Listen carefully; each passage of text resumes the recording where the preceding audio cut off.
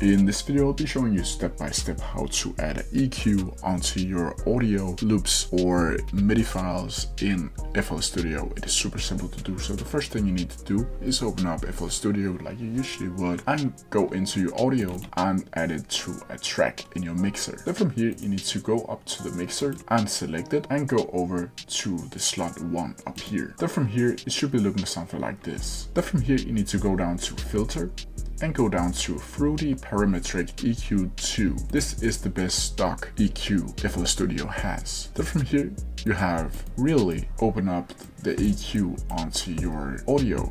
And that's how you do it. If you have any questions about it, please leave them down in the comment section below and I'll try my best to answer them as quickly as possible.